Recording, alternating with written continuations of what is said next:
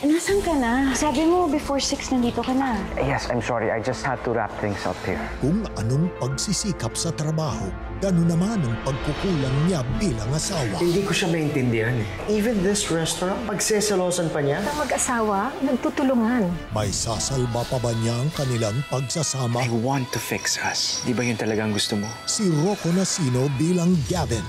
To have and to hold on the 27th of September on GMA.